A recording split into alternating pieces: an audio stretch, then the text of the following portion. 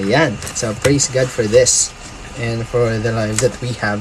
So, start na muna po tayo ng devotion. We can do a fellowship later. Maybe I could um, open the um, yung tinatawag nilang add guest and then you could uh, go up and then we could do some sharing. We could do some uh, motivate uh, of course magpalakasan tayo sa Panginoon but anyways um, let's pray first before we start Aming Ama na nasa langit, salamat Panginoon for this wonderful night. Thank you, O Lord, sa uh, natapos ko pang klase. Ganon din, Panginoon, salamat sa mga tao na idinako mo po rito upang makinig ng iyong salita. Thank you, Father, for everything. Thank you for the strength that you have given us throughout this day. And Lord, naway matapos namin itong gabi na to na ikaw ang aming kasama at ikaw ang aming kapiling, Panginoon.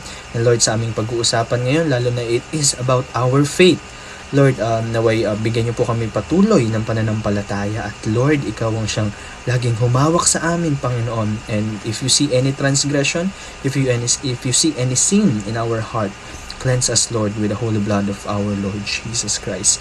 Maraming salamat, Panginoon, for everything that you have done, for all the blessings that you have given. In the name of our Lord Jesus Christ, we pray. Amen. okay. So, ayan, mga kapatid, uh, sige nga, try ko nga itong ano, uh, paliwanagin. Ayan. Yun, yun, lumiwanag. Nakita niyo ako, di ba? Ayan. okay, so what we're gonna talk about now is a, of course, ito yung foundation. Isa sa mga foundation nating mga Kristiyano. And what is it? Uh, what is that? Of course, it is faith. So, ano ba yung pananampalataya? Okay? So, we will talk about that and ano ba, pa- paano ba, how does it work and paano ba natin may explain yung pananampalataya. So, meron akong question sa inyo before we start or before we properly start this. So, ano ba yung faith para, para sa inyo? Ano ba yung faith? Ano ba yung pananampalataya? Ano ba yung ano? Ano ba yung um ano ba yung pananampalataya para sa inyo? Ano ba yung yung yung the faith na sinasabi ninyo? Could could you explain it? Of course hindi ko hindi ko naantayin yung mga sagot niyo dito sa live but rather uh, if you wanna comment it then go ahead with it. So what is faith so the bible talks about faith a lot. Of course lalo na sa pagtanggap natin sa Panginoon. The the bible talks about um, the faith in God uh, because of faith because of faith because of faith something like that di ba? So the word faith yung faith or pananampalataya is actually synonymous to the word trust. Yon. To the word trust. It is synonymous to the word trust. So, gusto ko munang i-build yung foundation na to sa atin ngayong gabi na yung faith is synonymous, okay, to the word trust also dito sa pag-uusapan natin or sa context ng pag-uusapan natin. So, I wanna I want to direct you to the very, very popular Bible verse na kung saan, I know, you already know this kung sinabi ko na faith, ah, ito yung verse na pag-uusapan natin. So, in the book of Hebrews, Hebrews chapter 11 verse 1. Hebrews chapter 11 verse 1. Ano pong sabi doon? To have faith is to be sure of the things we hope for, to be certain of the things we cannot see. Ulitin ko po, sabi po ng Hebrews uh, chapter 11 verse 1, To have faith is to be sure of the things we hope for and to be certain of the things we cannot see. Purihin po ng Diyos sa pagkabasa ng kanyang banal na salita. And I want to ask a question once again. Daming tanong, no? Pero I want to ask a question for you. And you could write this down also. Could you can you imagine uh, a world without faith? Or sabi natin without trust because it is synonymous to trust. Could you imagine a world with without trust? C- can you imagine? Like, na- na-imagine nyo ba yung, yung ating mundo na, na walang pagtitiwala, na walang trust? ba diba? So, isipin nyo na lang na uh, yung trust is binibigay natin of course sa mga sa, sa mga tao at sa ibang bagay hindi lang ano hindi lang hindi lang siya ano hindi lang siya parang uh, kasi ibinigay ko yung trust ko sa iyo pero sinira mo hindi ganon hindi lang yun doon sa context na yun pag sumakay ka ng jeep you are giving your trust to the driver. Bakit? Na hopefully hindi niya ibangga yung jeep na hindi siya mag-amok, 'di ba? Hindi niya, 'di ba? Nadadaling ka nung jeep na yon to your destination na makakauwi ka ng matiwasa. You have that trust to that driver. Ganun din sa pagsakay natin sa eroplano, kung nakasakay na kayo sa eroplano, 'di ba? You are putting yourself in uh, you are putting your trust in in that airline in in that airplane in in in the pilot what? To be uh, to be able to arrive yung destination na pupuntahan mo. Ganon din sa government natin nung nagkaroon ng botohan. We also trust that uh, President Rodrigo Duterte will be able to to properly manage the the Philippines 'di ba? So peace and order in society of course binibi, uh, yun din yung nagiging dahilan. 'di ba yung trust ang nagiging dahilan kung bakit may peace and order sa society bakit meron trust tayo sa mga batas natin okay so pag inundermine natin or pag tinanggal natin yung trust sa society natin sa mga tao sa relasyon natin sa ibang tao and sa personal ano natin personal perspective natin relationship natin definitely it will be, sabi nga ni Jen Revo, chaotic. It will be chaotic. 'Di ba? Lalo na ngayon, sikat ang sa social media, 'di ba? Nawawalan. May nakita kong isang post, sabi doon, nawawalan na kami ng tiwala. Saan? Marami nawawalan ng tiwala sa gobyerno, marami nawawalan ng tiwala sa mga lalaki, marami nawawalan ng tiwala sa mga babae, sa mga relationships nila. 'di ba? And imagine a world without trust and it's gonna be chaotic. It's gonna be uh, undermining this this trust will be very very uh, hard for us to be able to to imagine that world. Ba pupunta ka sa barbero, uupo ka dun sa upuan na pupunta ka sa barber shop or sa salon, you will be having to trust that you will have to trust that person na ano na na ma-visualize niya yung gupit na gusto mo, ma-visualize niya yung yung ayos ng buhok na gusto mo, you're gonna trust that person. Bakit? Paano Kuya Carl? In that simple way, I'm putting my trust to that person. Yes, kasi bakit? May own free will yung barbero. Malay mo, biglang mag-trip yan, kalbohin ka. Di ba? Di ba? But then, you're putting that your trust to, to that person na maayos niya yung, yung buhok mo. In, in a proper way, magugupit niya. Okay? So, parang sa atin, di ba? Ay, may tiwala naman kasi ako, di ba? Pag sinabi sa atin, may tiwala ako sa iyo. Napakasarap sa pakiramdam, di ba? Bakit? May tiwala kasi yung tao na yun.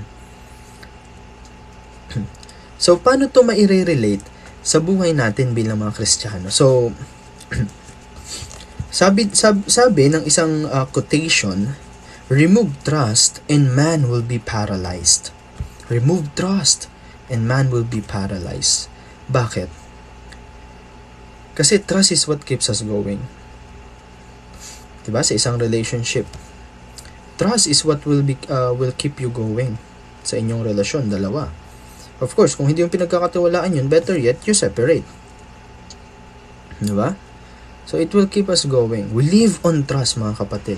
We, we trust that one day we will be graduating. We trust that we trust that uh, yung mga ginagawa natin ngayon ay magbubunga eh, one day you trust that one day you will be successful diba you trust that that uh, sa mga Christians one day we will see Jesus Christ coming on the clouds ganun yung yung ganun yung ano ganun yung trust natin sa Panginoon and dun yung sa yung sa trust na sinasabi dito eh paano kuya paano na i-relate sa faith yon yung trust po yung trust, okay, itong ganitong kaliit, yung, yung, yung word na trust, okay, i-expand nyo po siya ng 10,000 times.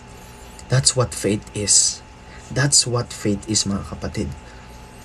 'Di ba? Kasi sometimes we we put we we put we put we put so little emphasis on our faith na na-undermine yung pananampalataya natin. Our faith is more than it, it is ano it is a more than a trusting. It is it, it's just it's more than a simple trust. Puti. sorry. Nabubulol na ako kanina pa kasi nagsasalita. Diba it is uh, so paano yon yung faith natin it is more than just a simple trust why yung buhay natin dito sa earth it requires trust Diba? It requires pagtitiwala. Saan? Sa mga bagay-bagay. Pag bumili ka ng pag 'di ba? Pag bumili ka ng gamot, you, you trust that you will be that you will be healed uh, because of that medicine. So every every day in our life we we put our trust in into everything that we are doing. 'Di ba? So anong anong kinalaman nun? Bakit paano yung faith nag-work? Faith, 'di ba sabi ko nga sa kanyo, faith is more than trust. It is not a simple trust that we put in our daily lives, but it is more than trust. Kaya nga sabi ko, yung trust, yung, yung trust, yung pagtitiwala, i-expand nyo yun ng 10,000 times. That is faith, mga kapatid. Here on earth, we require trust. But eternal life requires faith. Eternal life requires faith. While we're, we are living here on earth, kung yung mga bagay-bagay na talagang nagaano sa atin, nag uh, ginagawa natin, it requires trust. Pero when we talk about our eternal life, when we when we talk about heaven, it requires faith, mga kapatid. It requires 10,000 of those trust. Okay? Bakit po? Bakit bakit sinabi? Kaya nga po sabi ng Hebrews chapter 11 verse 1, to have faith is to be sure of the things we hope for is to be sure of the things we hope for, to be certain of the things we cannot see. When you have faith, mga kapatid, it is something that you don't see. Kaya nga, di ba, faith is is not like the world that na ano to see is to believe no when it comes to faith you have to believe to be able to see kaya ngayon yung kailangan ng ating Panginoong Hesus Kristo. For kailangan niya ng ano na, ng pananampalataya natin. Diba? When you when you first accept, accepted the Lord Jesus Christ, uh, Christ as your Lord and Savior, as your Lord and Savior, ano pong ano, ano pong nangyari, 'di ba? We we put our faith in him. Hindi natin sinabing we put our trust in you, O Lord. No, we, we put our faith in Him. Bakit? Kasi we are trusting the Lord 10,000 times over. Ganun po yung ginagawa. Bakit? Hello, it's eternal life that we are talking about. You will be living here on earth for 70 years, 80 years, tapos 90 years, di ba? Yun yung ano mo, yun yung yun yung expand mo, di ba? 120 years, umabot ka ng 200, then go for it. Pero after that, anong mangyari? And tayo mga Christian, we hold on to our faith. Okay, we hold on to our faith na kung saan pag nawala tayo rito sa mundong ito, we will see God sitting on His throne. And we will see Him face to face. Tapos sasabihin niya sa atin, my good and faithful servant. Yun yung gusto natin bilang mga Kristiyano. Okay? Kapag ka tayo po ay merong faith, when uh, when we have faith, we are sure that the hope that we have. So, ano po ba yung hope na yon? We hope for. What are the things that we are hoping for? Hindi lang dito pang lupa mga kapatid, hindi lang ito pang lupa, kundi pang langit din dapat yung the things that we are hoping for. Ano yung we are hoping for? That one day we would see Jesus Christ. That one day we will be walking in the streets of gold. That one day, sabi ng Revelation, there will be no weeping. Diba? That one day, all of us will be perfect. Why? We, hindi na tayo, there's no more sin, there's no more suffering, there's no more, there's no more pain. And that's what we are hoping for. Diba? Hindi mo na kailangang magreklamo na walang ayuda galing gobyerno. Bakit? Kasi God will be there. He will be the He will be the provider of all things. One day na hindi mo na kailangan makita yung loved one mo na, na merong suffering. ba? Diba? Bakit? Kasi everything there would be perfect. Everything there would be would, would be beautiful. Sabi ng Revelation, and He will wipe the tears from their eyes, and He will be their God. Ganun po yun. Faith is what keeps us going bilang mga Kristiyano po. In these dark times, in this dark uh, in this darkness that we are experiencing, our faith is the life that we keep on holding to. Yun po yung mga kapatid. One has faith when he is sure that what he hopes for will indeed happen. 100%. Makita niyo po yan? One has faith that he is sure that what he hopes for will indeed happen. Ang faith po is not just mangyayari kaya tong bagay na to. Hindi, hindi ganun yun eh. Ang faith po is something na, ah, alam ko mangyayari tong bagay na to. Even if I don't see it. Even if, ano, even if na hindi ko nakita si Jesus Christ na like in a in the human form even though even though hindi ko nakita si Jesus Christ na pinako sa cross but I have faith that it happened that it is it is it's it was for my salvation that he did it on that he died on the cross for my sins. That is faith mga kapatid that even though you don't see it that even though okay even though you did not experience it personally be, you being there may faith ka. Di ba sabi niya kay Thomas? Nung sinabi ng Thomas na my Lord and my God pagbaba mo sa mga ilang verses sabi ni Jesus Christ blessed are those who did not see but believed. Blessed are those ano sabi ni Jesus Christ? When you have a faith of a mustard seed, ito yung dilema. Ang hirap magkaroon ng faith. Kaya nga sabi ni Jesus that each, uh, if any one of you has a faith of a mustard seed, kung nakakita na po kayo ng mustard seed, napakaliit lang nun. He could said to this mountain, di ba? Move. Pwede niyang pwede siyang magpagalaw ng mga ano, ng mga ng mga bundok and he could command the mountains and to throw itself on the ocean. But that is the dilemma, mga kapatid. Pansinin niyo po, di ba yung sinabi ni Jesus Christ? Ano sinasabi niya sa mga apostle kapag uh, parang nawawalan sila ng panampaya, pananampalataya? Woe to you of little faith. Diba? Woe to you of little faith.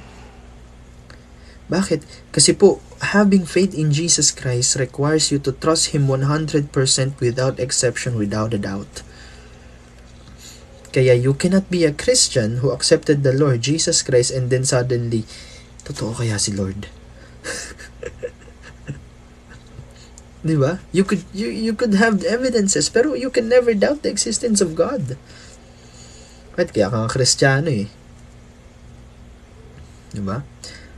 A follower of Christ looks at life differently. We look at life differently. Bakit po? Kasi we have faith that one day, that one day, on that glorious and momentous day, we will see Jesus. And kung totoo yung Christianity, we, we, we don't really die. Okay? Bakit po? We just transfer locations. Kasi of course dito sa buhay natin dito sa lupa, pag namatay ka, 'di ba? Being being a Christian, namatay ka and you have we have that hope that uh, one day we will see Jesus Christ at wala nang suffering. Magta-transfer lang tayo ng location from earth to heaven. Hmm. Hindi ka naman namatay. 'Di ba? Kaya nga sinasabi sinabi dun sa kanta na isang pinapakinggan ko, I forgot the ano, the death Ah, yun, yung ano, Christ be magnified, di ba? Isa sa mga favorite ko yun. Sabi doon, death is just a doorway into resurrection life. Kaya wag po tayong matakot mga kapatid. And if you are right now af- afraid of trusting God, of putting your faith in God, parang minsan kasi yung pagpuput natin ng faith sa Panginoon, it's like a very, very big step in our life, which totoo naman. Sobrang laking step to para sa buhay natin when we, when we put our faith in the Lord Jesus Christ. Diba po? We put our faith in God by receiving Jesus Christ as our Lord and Savior. We live not only because we trust, but because more than anything else, we have faith. More than anything else, we have faith. Mga kapatid, I know this is a bit of a parang iniisip nyo siguro, ah, alam ko na yan eh, kasi faith naman yan eh. But have you ever considered or have you ever asked yourself na paano kaya kung uh, um, paano kaya? Diba? Let's just take a scenario at first. Paano kaya if you hadn't had faith with the Lord? If you hadn't had faith sa Panginoon? What would your life be? I know almost all of you are Christians almost all of you knows what Hebrews 11 verse 1 is saying. But to those people na hindi pa nakakilala sa Panginoon and you haven't put your faith in the Lord Jesus Christ, believe and you will see His power. Believe and you will see His goodness. 100% without exceptions, without limitations, without without um, excuses, without reservations we put our faith in Him. We have high hopes because of our faith on which we lean on and depend on for today and tomorrow. Yun yung pananampalataya natin. In this world, mga kapatid, sometimes mahirap yung hope. Mahirap hanapin yung trust, 'di ba? Katulad mga kumakalat ngayon na some people cannot trust their partner. Why? Kasi may issue sa pagpapa-change oil, 'di ba? may lumalabas yung mga yung mga um, people are cheating. And uh, and, and even sa community pantry, 'di ba? People are, you know, um, having this kind of acts na hindi naman talaga dapat. When all else fails, when all else fails mga kapatid, there is no other logical way but to have faith. Ulitin ko po. When all else fails, when all else fails, there is no logical way but to have faith. Sabi nila, parang sobra kang ano, sobra kang zealous diyan or sobrang uh, dedicated ka sa pananampalataya mo. Because our faith is bigger than our lives, mga kapatid. Meron po akong mga kilala, it is with faith that they overcome the sin in their life, the, the depression that they had. And saan po natin makukuha yung, yung, yung faith na yun? Tandaan niyo po mga kapatid, ito po yung difference ng faith sa trust, okay? So, trust is something like this. Yung objective po ng trust natin is to people, to things, to structures, to methods, to means, like anything. Yung objective ng trust natin, di ba?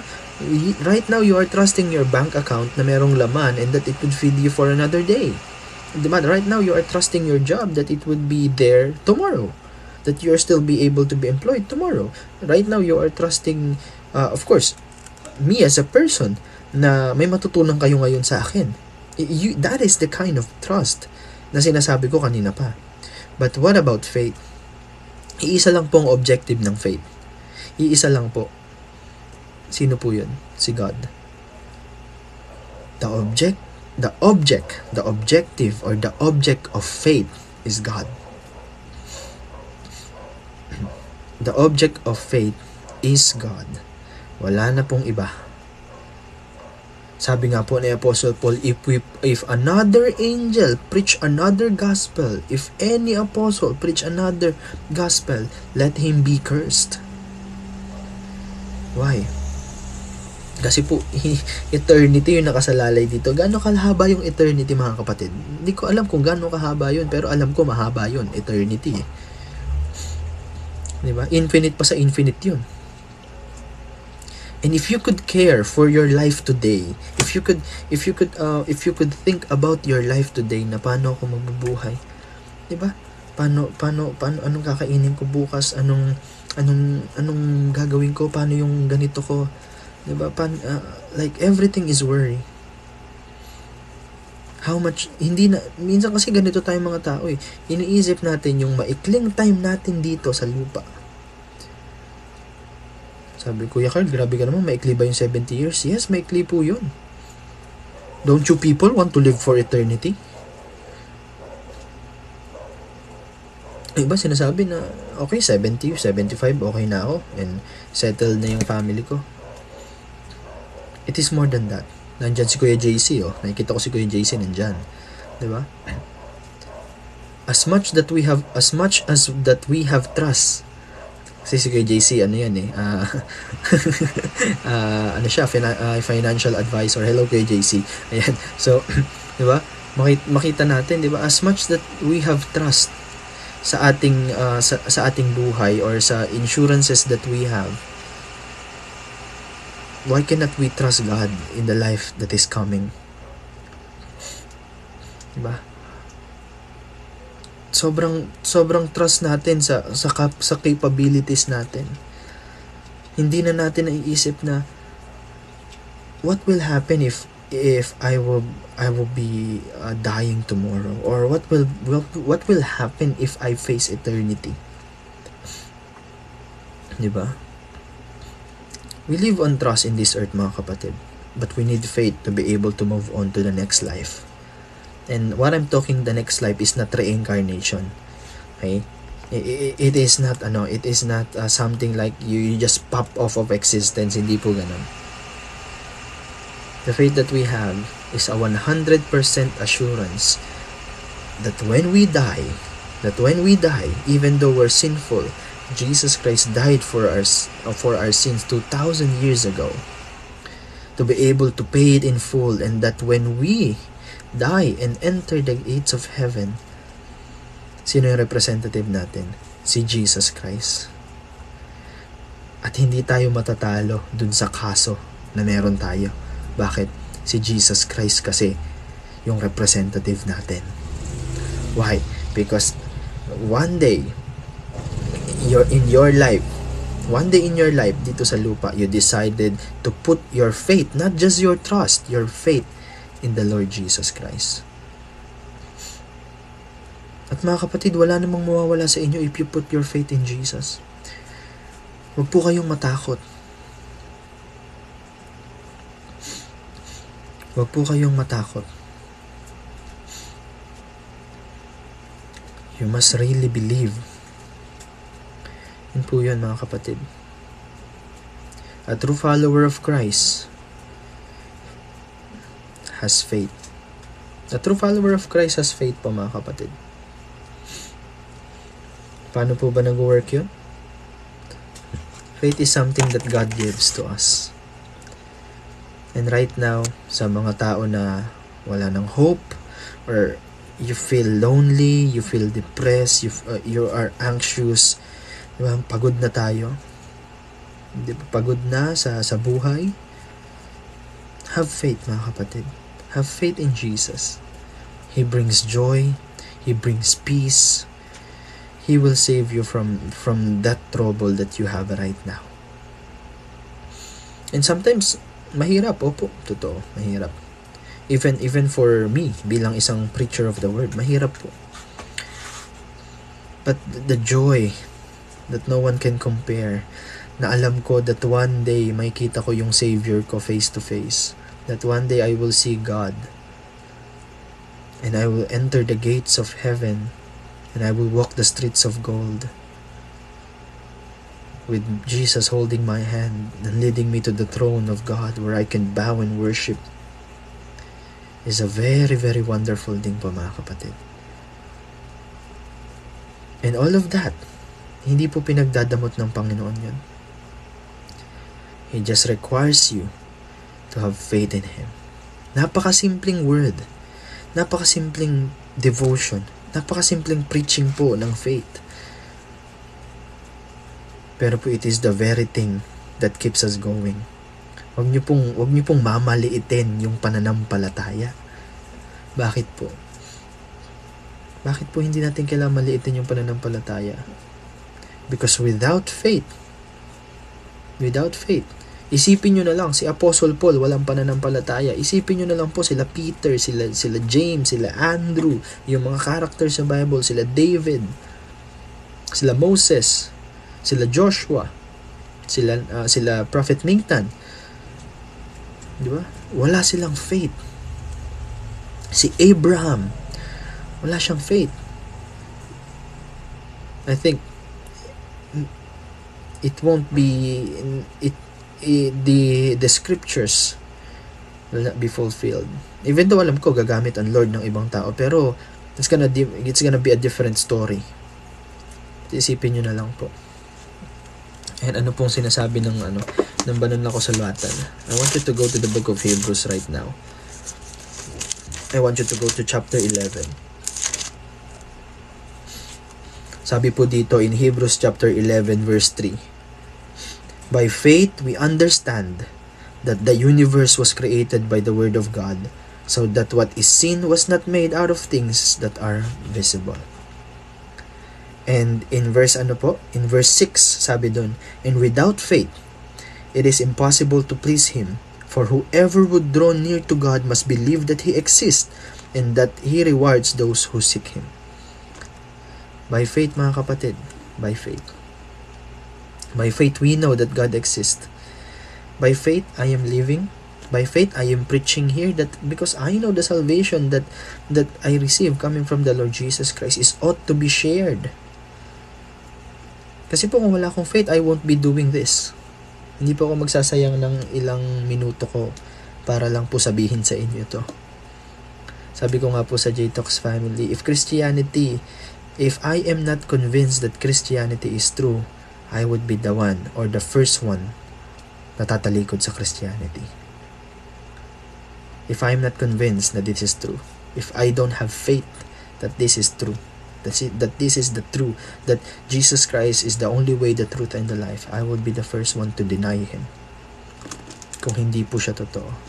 But no, I have faith 100% without a doubt that He is the Savior of the world, that He is the Savior of all mankind, that He died for my sins, and that He loves me so much that He had that He has to bore it until to the cross.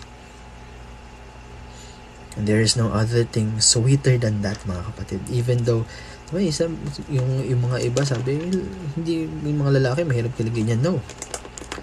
Hindi po kami mahirap kiligin. Bakit? when I heard the story of Jesus Christ dying for me. It was the most wonderful story that I ever heard. And until now, kapag naaalala ko po yun, I smile and I just, you know, I just praise God for it. Kaya nga po, the, the one of the solace of the Reformation or one of the alones of the Reformation is by faith alone. The salvation that we have is by faith alone, through grace alone, in Christ alone, and to the glory of God alone. Diba? That is the, that is faith, mga kapatid. And let me end with this. Let me go back to Hebrews 11 verse 1. To have faith is to be sure of the things we hope for. What are you hoping for? In this life and in the life to the next. What are you hoping for? And sabi dun sa pangalawa, to be certain of the things we cannot see. We cannot see God. We cannot see the kingdom of God literally. We, we did not see Jesus walking around healing people. We didn't see the uh, the apostles. Hindi natin inabot sila. Lalo na sa amin, lalo na sa ating mga kabataan. Diba? Ewan ko kung may nakaabot dito ng mga apostol. So, hindi ko alam kung ba't buhay pa kayo. Pero, tindi nyo naman kung naabutan yung mga apostol. Even the, the, even the apostolic fathers. Even their, yung ano, yung mga, ano nila, yung mga, apo, yung mga disciples nila. Some of us, hindi na inabot yun. Of course, all of us, hindi natin inabot yun. 2020, 2021 na eh. Diba? But, how? Like, diba? Paano, na, paano tayo magiging sure?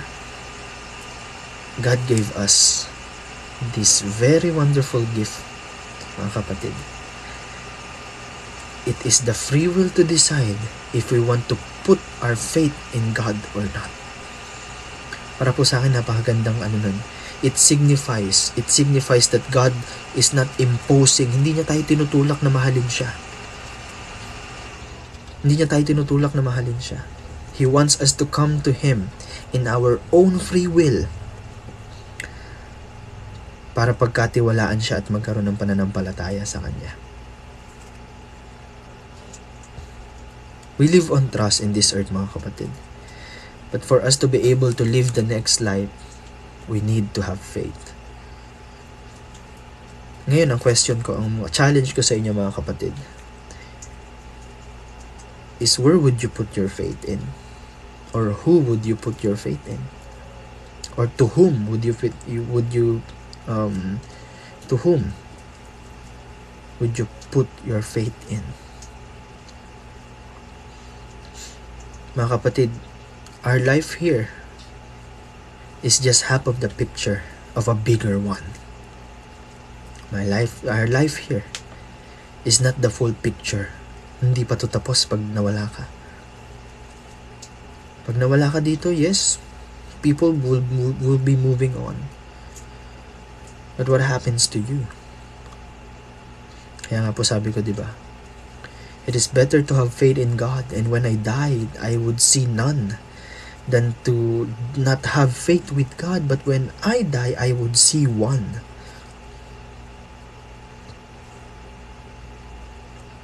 And God is offering us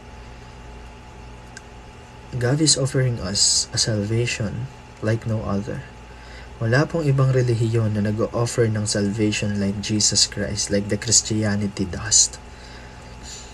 Christianity is the only religion that you don't have to that you don't have to work for your own salvation. That wala ka nang gagawing mga ritual, wala ka nang gagawing mga kung anong kung ano-ano. Why? Because Jesus paid it all on the cross. He did it for us. Search for it. Makita po ninyo, everything, every relig every other religion is by works. Gawin mo to para pumunta ka ng langit, gawin mo tong ritual na to, gawin mo tong ganito, gawin mo tong ganyan, kailangan ganito, tumalong ka ng 12 beses, ganito, ganyan, ganyan, ganyan, kailangan magsuot ka nito. But in Christianity, no. Jesus Christ offers us a free invitation in His kingdom a free invitation to each and every one of us in His kingdom.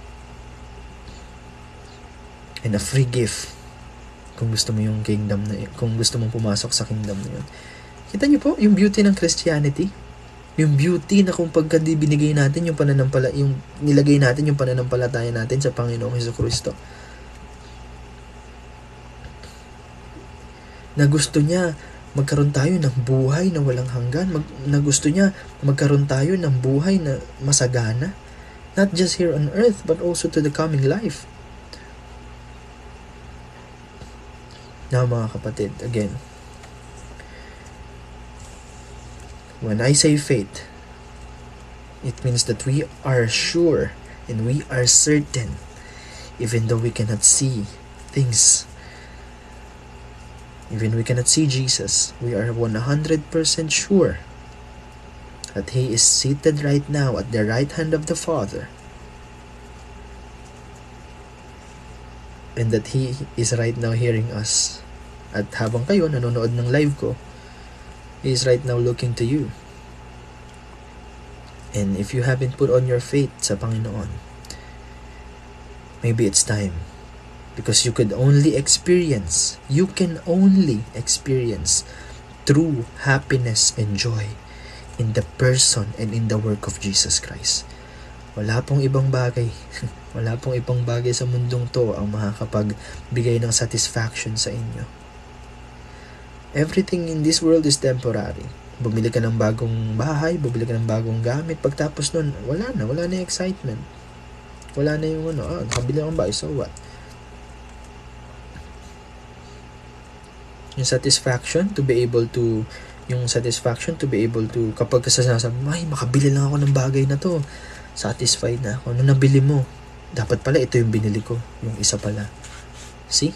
We're never satisfied. But when we have Jesus we have satisfaction in Him.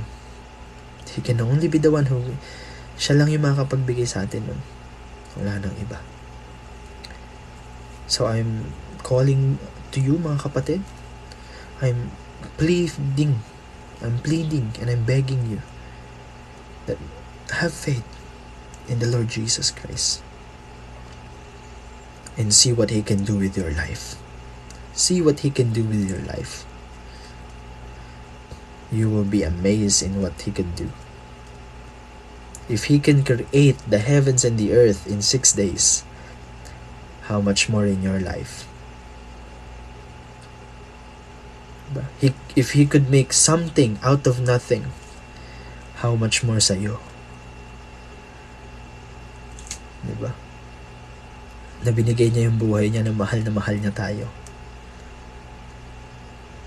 We just have to come to faith to Him.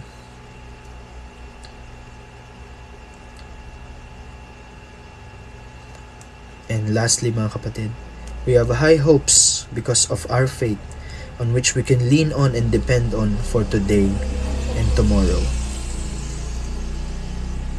You're unsure of the future? Go to the one who have seen it all, the, om- the omniscient God. You're afraid of uh, the coming life or death? Go to the one who provides life. He is the living water. Sino yun? Si Jesus Christ yun. And remember that the objective of trust is on people, on things, on systems and structures and everything. But the objective of faith is God alone. Now, the question is, and let me close with this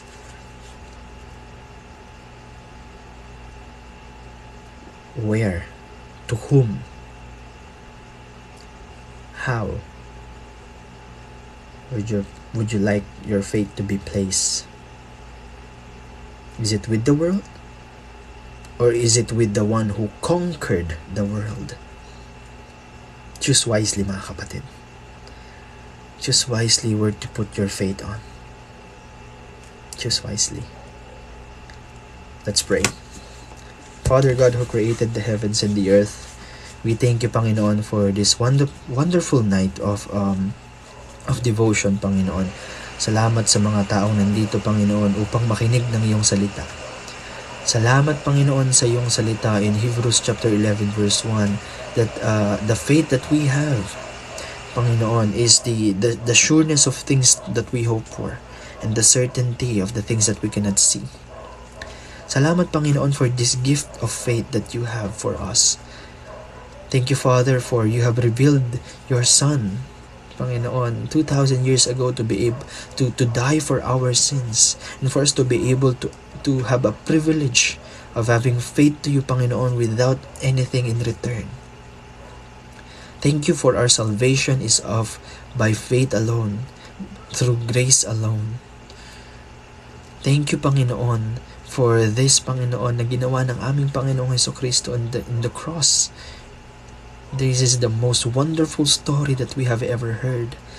That the Creator of the whole universe, the one through whom and in, in Him all things were made, but yet become nothing, even to the form of the servant, and being obedient to your will, Almighty Father, even to the death on the cross. Salamat Panginoon for your love, for your mercy, for your grace. Lord, huwag mo hayaan Panginoon na ma-waver yung aming pananampalataya. Let our let the objective of our faith be you alone, Panginoon. Hold our faith. Give us faith, Father, to each and every day of our life that we will be able to trust in you. And Lord, one day we are hoping to see you face to face. We are sure of this 100% without a, without a doubt. And we are waiting for that momentous and glorious day that we will be with you forever. And that we would save your uh, that we will we will savor the savior his presence that we could see your smile one day lord jesus christ and tell us how how how you love us panginoon. That one day we could hug you panginoon. We will be waiting for that day. We will be waiting for your return, Almighty God. Thank you, Lord, for this. And Lord, sa mga nakikinig po sa akin ngayon, bless them, Father. Protect them against COVID-19. Huwag niyo pong hayaan na magkasakit sila, Panginoon. Keep them healthy. Not just yung healthy body, but Lord, also keep the relationships that they have healthy also, Father. Huwag niyo pong hayaan na yung mga anak po ninyo ay uh, ma-fall away sa pananampalataya, ma-swept away ng mga ibang doktrina, but rather, Panginoon, reveal your truth to us, which is your word, the Holy Bible. Thank you, Lord. Thank you for talking to us tonight. Salamat, Panginoon. There is no English word or there's no uh, words, Panginoon, that we could utter how much we are thankful for your word and for your Son Jesus Christ. May we always put our trust in you, Almighty God, and to have faith in you always. Thank you, Lord. Open the gates of heaven and bless every each and everyone under the sound of my voice. Salamat po, Panginoon. And as we part our ways, uh, later on, uh, may you and you give us a good night uh, sleep, Panginoon. At patuloy na ang Banal mong Spirito ang siyang mag-comfort sa amin at iyong presensya ang patuloy na managana sa bawat isa. Protect each and every one of us, Father, as we sleep. Maraming maraming salamat po. Out your blessings to them, Father. In Jesus' name. Amen.